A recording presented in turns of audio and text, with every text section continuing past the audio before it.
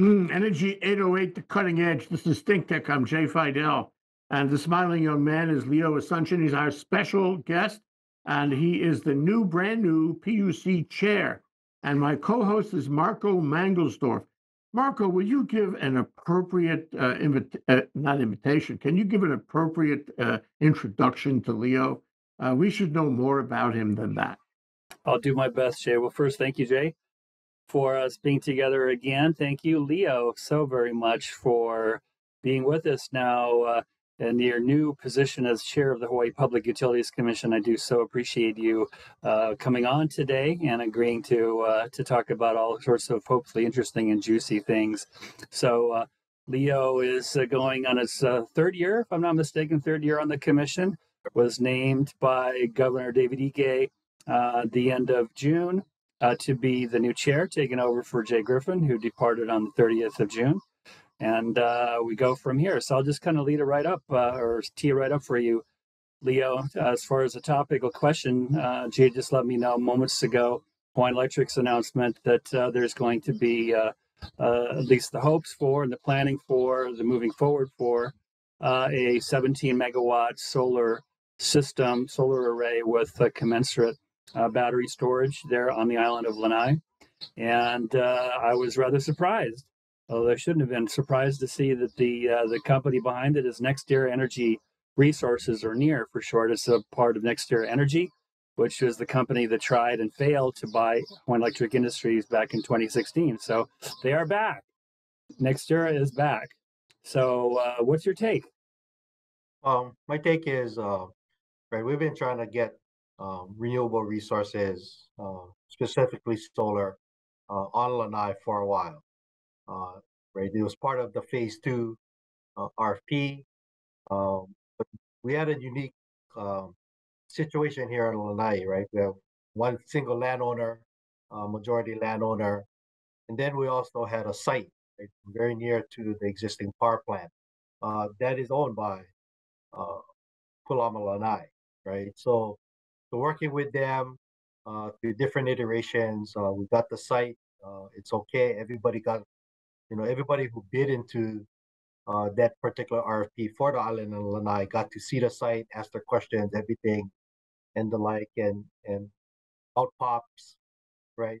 Uh, city area of NextEra Energy uh, as the as the one that's selected to to do the project. So terrific from that standpoint. I don't give any credence to uh, who's behind, you know, the actual company that's doing it. Uh, that is all the selection of Hawaiian Electric. Uh, they now need to right get that power purchase agreement uh, before the commission uh, and make sure that we're we're okay with it, right? Do our due diligence and do our review on it. Um, and you know, the other one the next one that I'm kind of looking forward to is uh, hopefully Molokai comes in. Uh, right, we've allowed them to uh, have a community uh, kind of like energy plan, if you will, created for the island. So we were ready to go about the same time as the Lanai RFP, and then the community came in and said, "Hold on, let us have a say in what to do on the island." So we're letting them go through that. I believe we gave uh, kind of like a year for them to do it. Uh, they're doing the plan with HNEI, uh, and we'll see what pops out from there, right? And then then the RFP process can can start, right? As far as uh, you'll see what the island what the island residents want as far as renewable energy, then the RFP would take take suit there. But for Lanai, I mean, it's a long time coming. It's one right. It's one of the smaller loads on the island, but to get you know a a solar project, right? Lanai is no uh, no stranger to other renewable resource projects in the past, uh, but this go around it's going to be solar, and it's kind of in line with with what we thought would happen, uh, but then right now it's make that project a go. Mm-hmm. No, that's great. Thank you so much for for your take on that. So kind of take kind of take a take a step back. Uh, I'd like to ask you uh, what are your uh, your impressions and experiences so far taking over the bigger chair? I don't know if they actually gave you a bigger chair, but a bigger chair in terms of responsibility, right? I know you know it's kind of human to think, uh, you have an anticipation and kind of expectation about what a new position might be. I mean, it's, it's new in the sense of you're commissioner, you were commissioner, you are commissioner, but now you have a you know a, a, a more expanded portfolio. So I'm always kind of curious, you know, how does your the actual experience now that you're tw- you know 25 days into it, how does that line up with what you expected? Well, I think um, you know the the chair the chair's position, just like every other kind of head of agency uh, in the state, is pretty similar. Uh, what gets stacked on is more the administrative items, the day-to-day items. Um, at the same time, we're you know we're fortunate here at the commission that we do have an executive officer on staff, so I can kind of delegate some of the day-to-day items to her uh, and have her you know run the shop, if you will, and that actually opens up uh, for the commissioners, myself and my other fellow commissioners, to really look at right the docket things that comes before us, work with staff as far as recommendations and the like, uh, things we want to see. Uh, I can tell you, uh, I'm sure in the in the near future you're gonna have a uh, have Naomi Kuwaye on on your show, hopefully, uh, and you'll see that it's a different take. She comes with different experiences and the like. Uh, after about 30 years in, in private practice as an attorney, uh, from the land use and environmental side, uniquely, right? But she also has dealt with PUC in the past as, as a consultant, if you will, uh, to mostly telecom folks.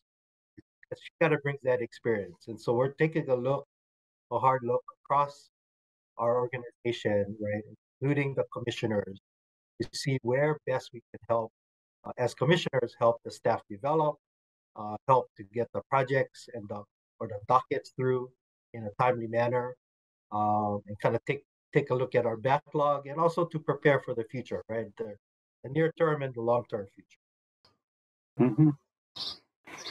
Get going to maybe uh, uh, Oahu specific. I mean, we are a little more than a month away as I count the days from the AES coal power plant going offline for good, which is uh, one of the largest uh, in terms of generation capacity power plants on Oahu.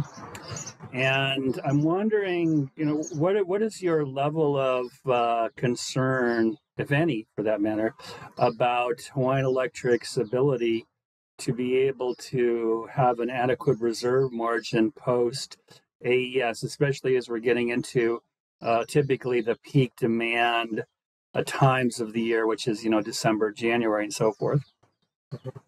Yeah, I mean, we continue to work with Hawaiian Electric, make sure that they will meet uh, the minimum reserve that they are required to meet.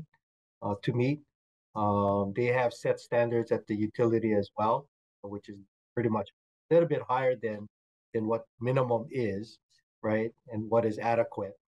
Um, they have shown that uh, when we did, when we had HNEI take a look at the reliability, like um, through the end of this year with AES shutting down, what we needed to find was 38, I mean, 38 megawatts of power, right? And most of that is going to come for the rest of this year uh, from Mililani 1, right, which is a project that's uh, about to come online. I believe they're shooting for November. Uh, I heard last week that they kind of checked the last box on the testing uh, of the of the, the, resource, and they're online or they're on on on track to come online uh, November or earlier, right? It just depends on the validation of all of those tests and the like. So, so we have that. Uh, now the next part is going to be uh, next summer right? That's another part when we, we're going to see the reliability dip again, right? Uh, in the meanwhile, right, we do have two more, five more projects, renewable solar projects coming online in 2023 at various times. Um, so some of them will come in the first, second quarter. I believe uh, Kapolei Energy Systems, which is the largest uh, solar and battery project on Oahu, uh, will come online in the first or second of the year. So that should tide us over. And then there's a few other uh, renewable resource projects that are coming online as well. Um, so what I've seen from Hawaiian Electric is they continually uh, try to look at how they maintain their existing resources, right? And if they did nothing and AES went down, uh, you would see a very slim margin, uh, somewhere on the lines of about 38 to 40 uh, megawatts. Uh, of, that's where the reserve would be. They, and they've shown us that if they kind of extend or defer some maintenance for like about three to four months on some of the units at plan, uh, they can get up to 120 megawatts in reserve. Right. So it's all about at, at this point, not going to get any more renewable resource projects uh, in ground running operational by the end of the year. So we're looking at how can we now defer some maintenance, right? Take certain units offline, the maintenance, and get them back online. So I I look at those charts and it's kind of like Tetris, right? You kind of kind of fit whatever shape kind in order to keep it below uh, the the, re- the minimum reserve, right?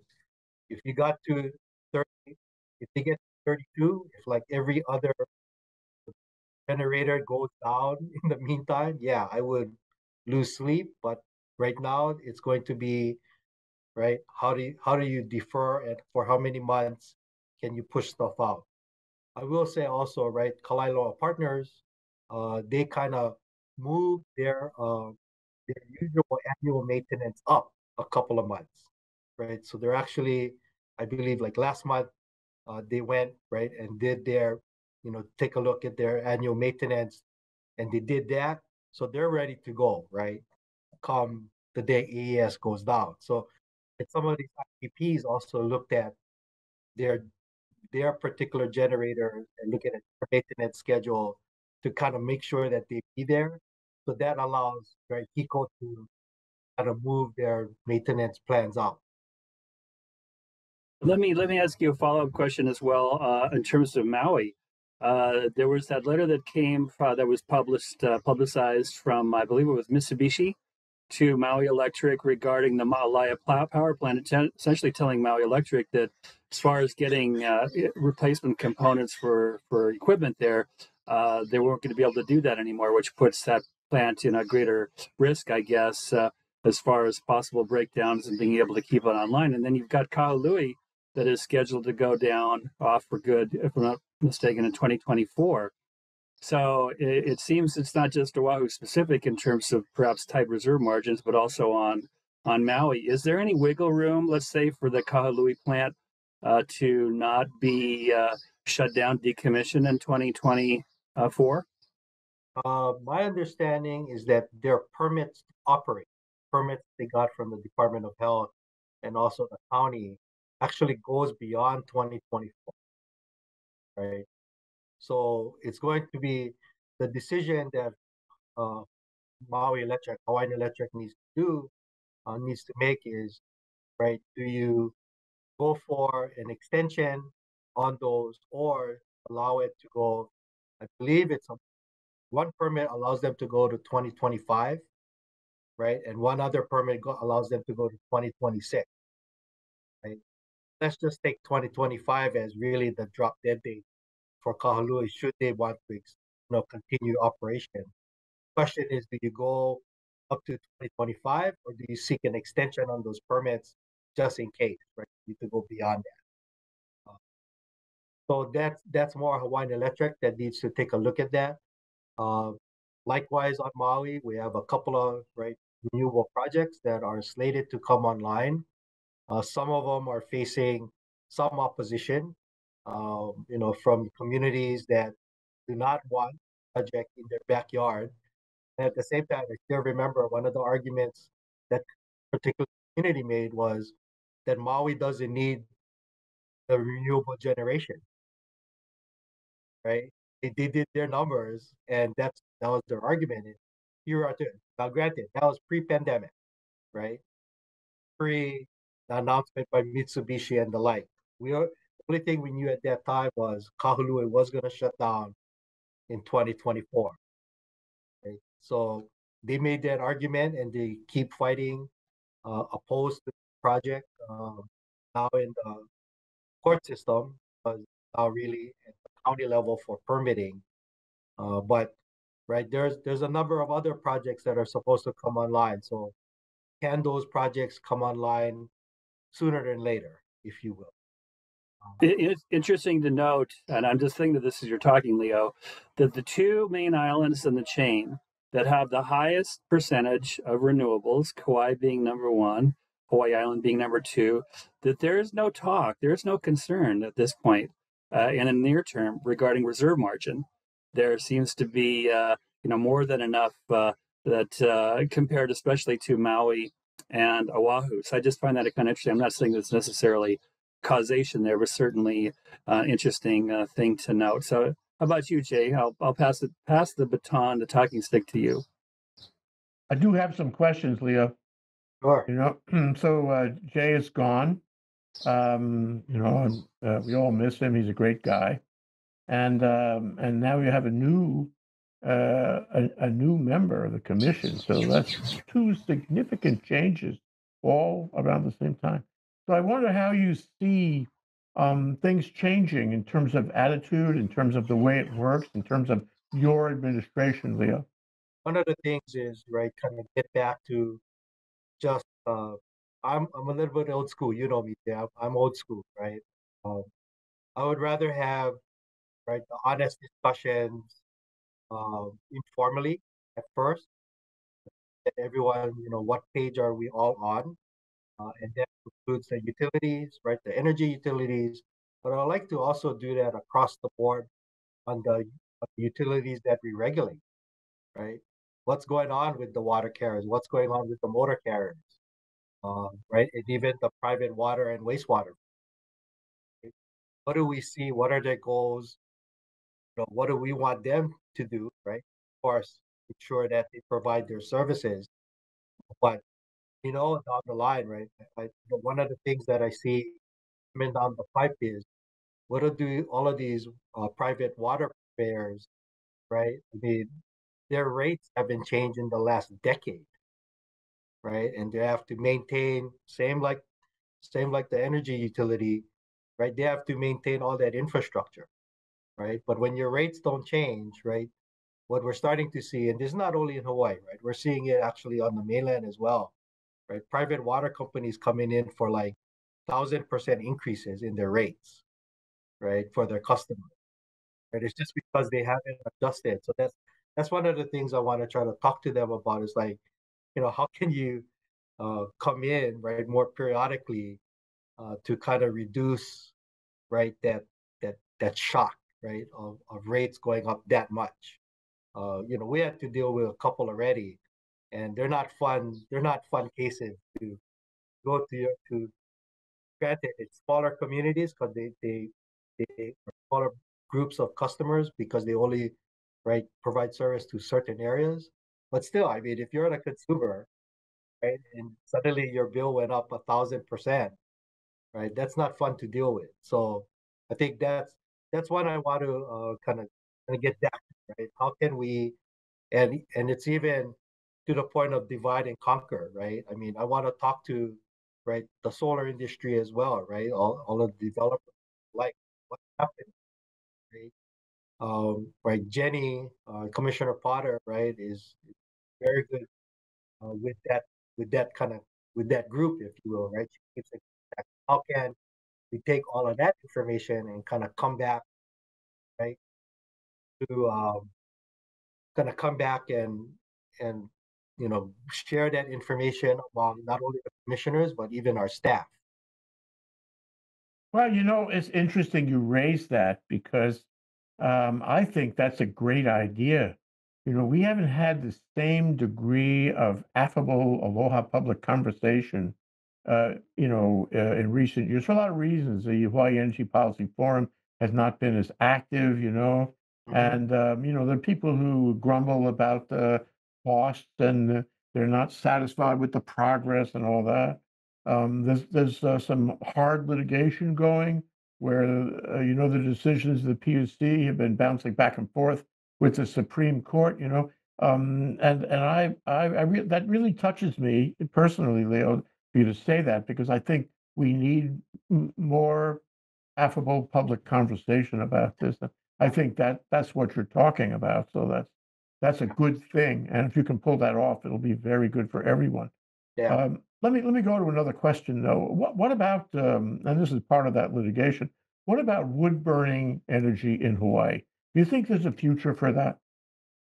You know, uh, we have it on Kauai, right? I think it really depends on where it is um, and in what manner, right? I mean, you can nitpick the thing. My my my thing on you know any type of renewable energy has been until right someone can say no, it's never going to happen, right? And the only thing we got going for us now is we can't have nuclear, right? You need the act of God, which is the right supermajority vote of the legislature to even make that happen, right?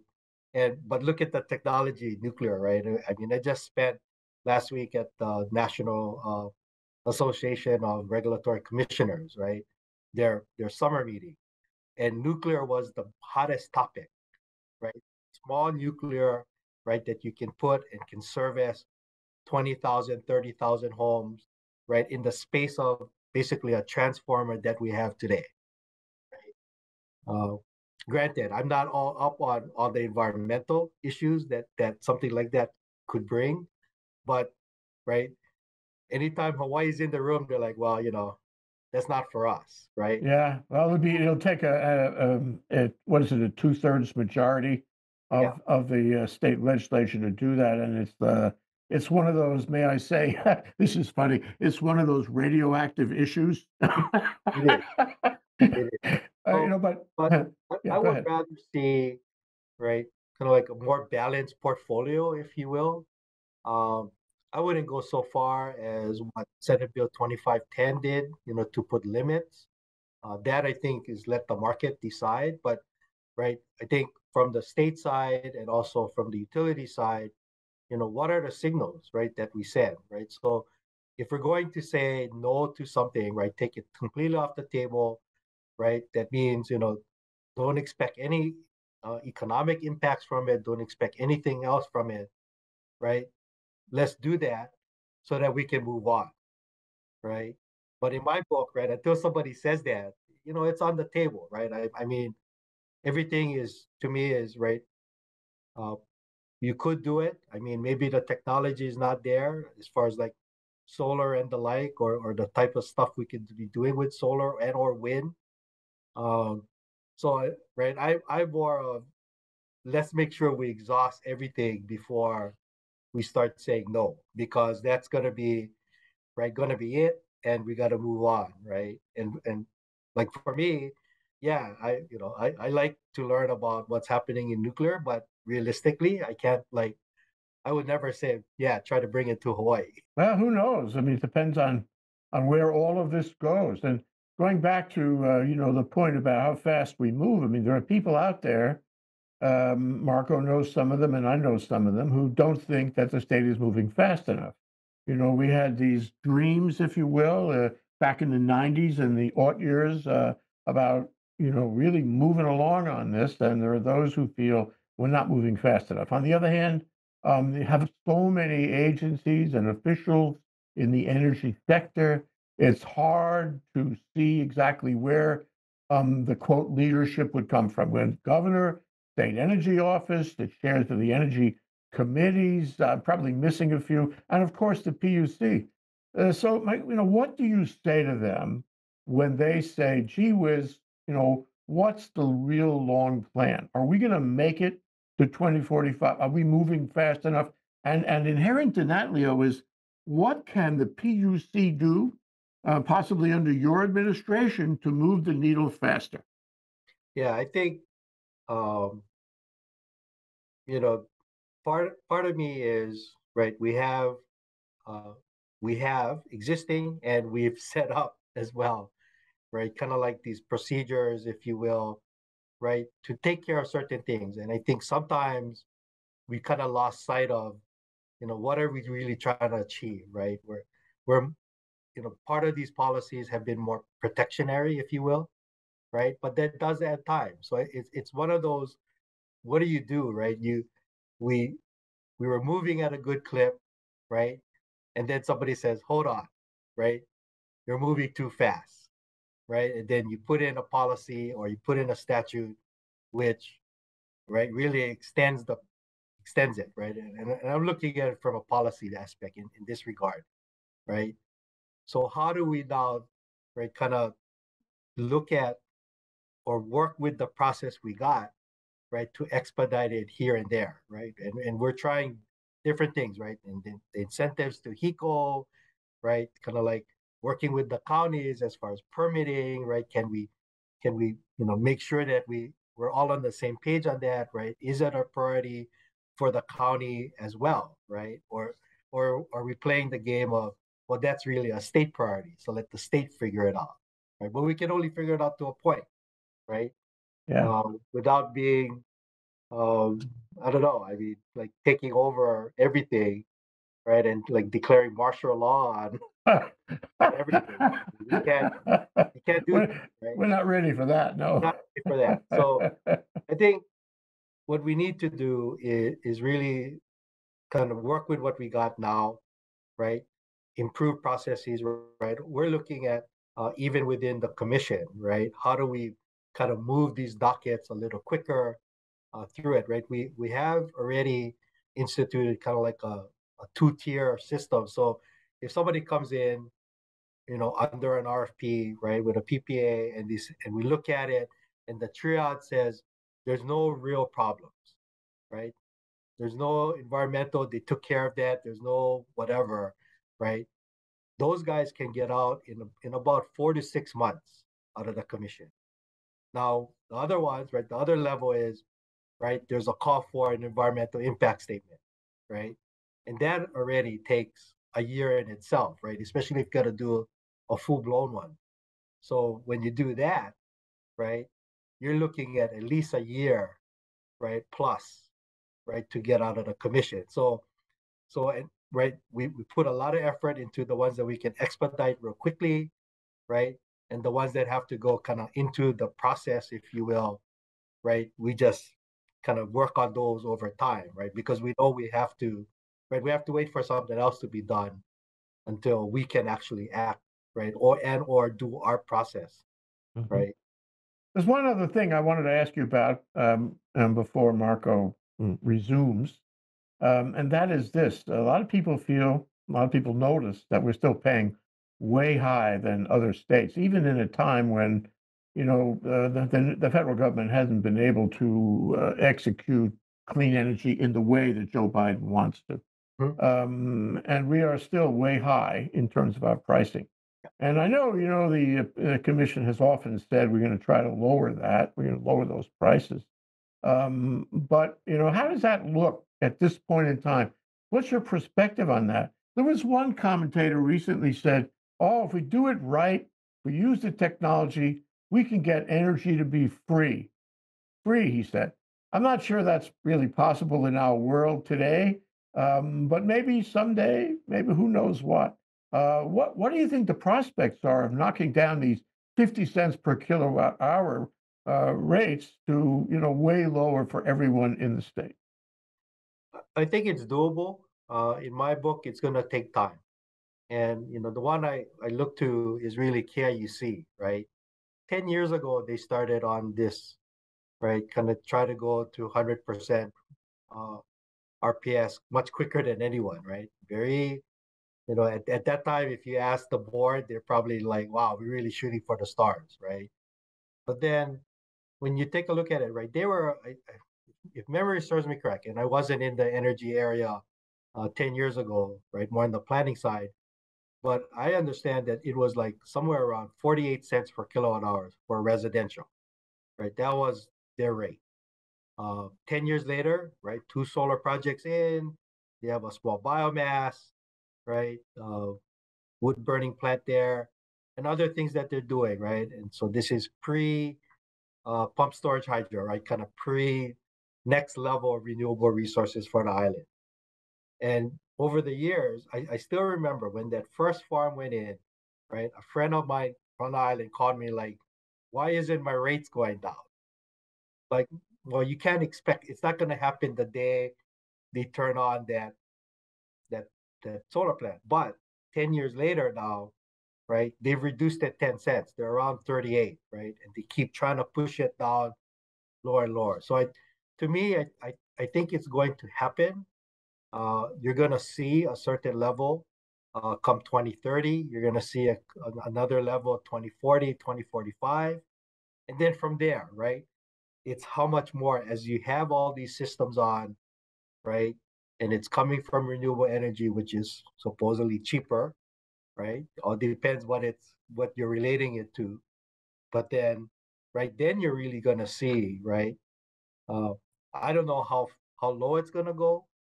Uh, I'm hoping for at least getting it down into the teens, but you're talking right, 20 years from now. We should all live so long, right? Okay, Marco, yeah, your time to resume. We don't have much time left, but go for it. Thank you. Thank you, Jay. So just to riff off what you said uh, regarding KIUC, Leo. So I believe it was back in May, a couple months ago, that for the, the first time ever, the first time ever, the residential rate on Kauai wa- dropped below the residential rate on Oahu. That was a, major, a pretty, pretty darn big thing, and uh, and it goes to David Bissell at KIUC's uh, uh, progressive, aggressive pursuit of cost-effective renewables. So I think my, my last question to you is the commission ordered Hawaiian Electric to roll out this battery bonus program on Oahu last year. And then earlier this year, ordered uh, Maui Electric to roll it out for Maui proper. And my, so my quick question to you is, hey, what about us guys here on uh, the Big Island? Uh, is there a battery bonus program in our future? Uh, well, you gotta take a look at where why we did those battery bonus programs, right? It was all around the whole reliability item, right? Oahu AES was gonna go down. There was a reliability issue there, right? So what could we stand up quickly? Uh, and actually, Hawaiian Electric proposed had proposed it, right, in one of the dockets. So, um, right, we took a look at that, and yes, we could do it. Hindsight, but one item that we didn't really take a look at is the permitting, right? How it would uh, over overwhelm the, the Department of Planning and Permitting as far as the volume of permits that are coming in. Uh, and then given, right, they had some staff issues as well, right? They've always had a shortage of staff from at least in at least from my knowledge, right, in the last administration, right, under Caldwell. So, right, not the best thing. So on Maui, same thing, right? We're seeing the possibility of right Kahului shutting down, solar projects getting delayed, and the like. So we said, okay, that's the next the next area that probably wants a battery bonus program. Uh, this one, lessons learned. We're actually talking to the county, making sure that, right? I think they just it rolled out in June. HECO and the solar developers uh, reported to us that there was only five applications on Maui that have come in, uh, and then so but we're we're right now we're talking to um, the planning department there and making sure that right they're ready because there may be an influx of people wanting to uh, get their battery bonus and get their battery and or solar panels uh, permitted. So we're kind of working through all of that now. Big Island, is there any chance of you know reliability issues? I mean, you noted earlier, right? You guys do not. Um, so, right, those that was the premise around instituting the battery bonus program. Uh, remember too, right? The whole thing about battery bonus is, right, that the utility gets to tap your your battery, your battery reserves, right? certain periods of time for X amount of price. Right. So there's the other that's the other part of it. So right, you gotta have willing customers, not only that do they want the battery, but they also need to, right, for the next I believe it's like the next five years or or so, they, they need to um, allow the utility to tap that power should they need it. Well, thank you for for uh, updating me on that, uh, Leo. And I'm just going to put a plug in directly to you. uh, perhaps tell you something you you already know. I think you know the the virtual power plant notion is not just something you know in the land of the Jetsons in the future. I mean, it's actually happening more and more. Uh, it will be happening in this state. It will be happening in various parts of the mainland, and I happen to believe that in order to accelerate that, which I think is a good thing, virtual power plant and having both solar and storage distributed across wide territories rather than centralized generation that that is a good thing and and and it is deserving of uh, incentives, which obviously uh, is being done on Oahu, is being done on Maui. So uh, I hope that uh, it's not just seen kind of in the narrower lens of having adequate reserve margin, but also kind of the bigger scheme of things, which is we really do need to go kind of all in. Uh, as far as virtual power plants, more solar on rooftops, and more storage distributed. Yeah. Okay. We're just about out of time, Leo. But uh, that's just another way of saying we'd like to have you back on a regular basis.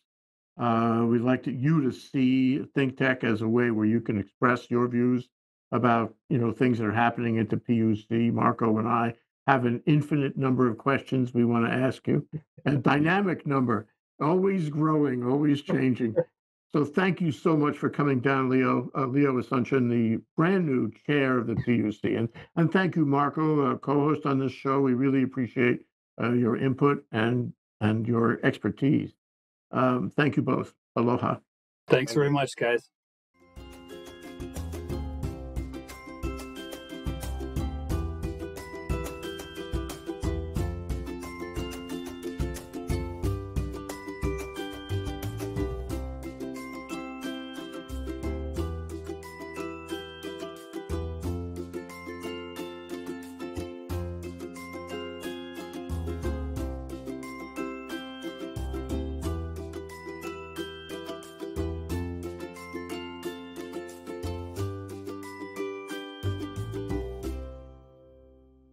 Thank you so much for watching Think Tech Hawaii. If you like what we do, please like us and click the subscribe button on YouTube and the follow button on Vimeo. You can also follow us on Facebook, Instagram, Twitter, and LinkedIn, and donate to us at thinktechhawaii.com. Mahalo.